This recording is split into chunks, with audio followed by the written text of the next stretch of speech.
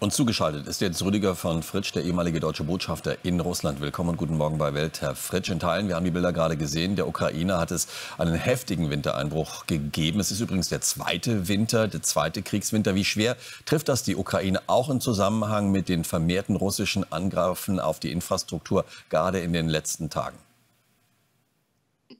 Guten Tag, Frau Mose, guten Tag, Herr Klug.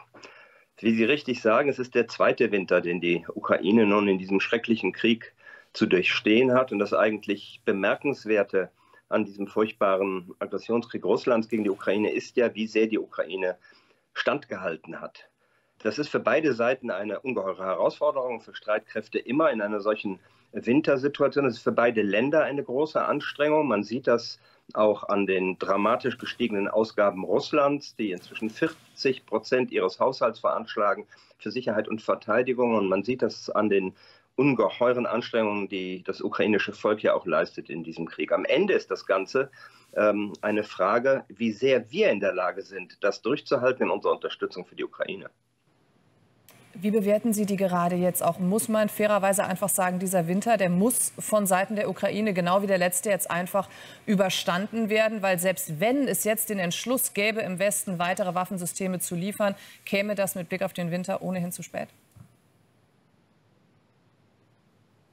Die entscheidende Frage noch einmal ist, ähm, ob wir in der Lage und bereit sind, die Ukraine ausreichend zu unterstützen in ihrer großen Kraftanstrengung, sich diesem Krieg ähm, zu widersetzen und damit insgesamt, ja, und das ist das, worauf wir immer wieder blicken müssen, einem politischen Ansatz Wladimir Putins, der sagt, Gewalt lohnt sich. Und wenn er es schafft, die Ukraine in die Knie zu zwingen, und sei es auch mit einem für die Ukraine dramatisch schlechten Frieden, dann haben wir es weiter zu tun mit einem aggressiven Russland, das auch unsere Sicherheit bedroht. Und von daher richtet sich die Frage an uns und sie richtet sich vor allem auch an uns Europäer, die wir angesichts der ja auch politischen Entwicklung in den USA uns darauf einstellen müssen, uns erheblich anzustrengen, die Ukraine als Europäer auch zu unterstützen.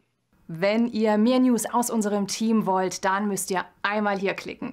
Wenn ihr auf der Suche seid nach spannenden Dokus, starken Reportagen, dann geht's hier entlang. Und wenn ihr Welt abonnieren wollt, neu entdecken wollt, dann einmal hier klicken.